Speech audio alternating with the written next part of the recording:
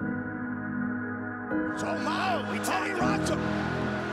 And it's all over. Anthony Rumble Johnson. Alex, this is a, a tough moment for you, but you have the love and support of all these people here. He just caught. I got caught today, and that's that's what happened.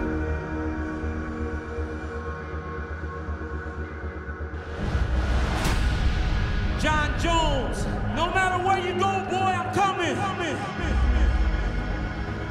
The wait is almost over. Jon Jones set to take on Daniel Cormier.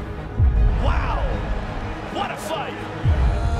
And still light heavyweight champion of the world. Man, I've had to rebuild myself a number of times like people can't even imagine. And uh, this is no different. This is not gonna this is not gonna ruin me. We have suspended him indefinitely. Obviously, he needs to focus on his legal matters right now. Anthony Johnson is ready for this fight, and uh, Daniel Cormier was beyond pumped. Rumble with big power early. Puts him down.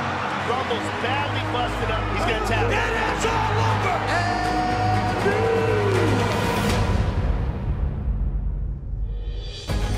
I can beat Jon Jones any day. Jones and Alexander Gustafsson. Combination by Gustafsson. Jon's cut. Unbelievable.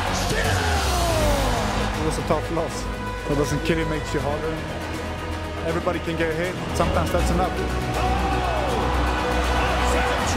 Alexander Gustafsson. You know, I'm fighting DC, and, and you can't be much better than this.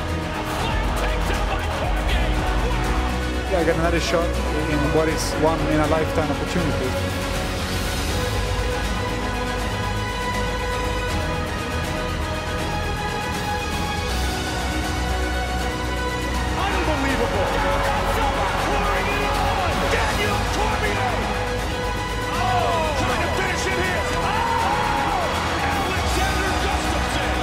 UFC Light Heavyweight Championship of the World.